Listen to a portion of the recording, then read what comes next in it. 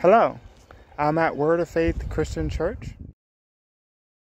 I called Pastor Blue and I asked to drop off my car so I could hike part of the section and then come back and pick it up. I am now back and ready to walk. I have a surprise. I got my hat back. I went back to Roseboro and got my hat. Now I am complete.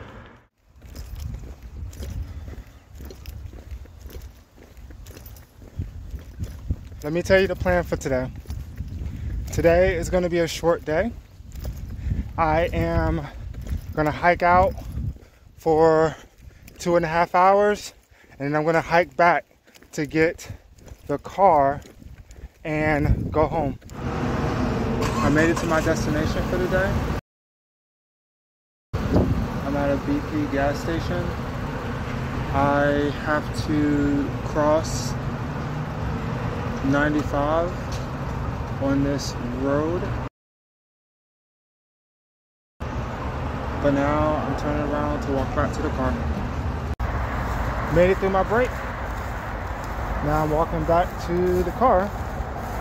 And day.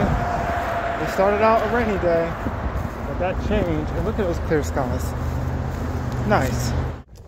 Made it back to Word of Faith Christian Church, where my vehicle is.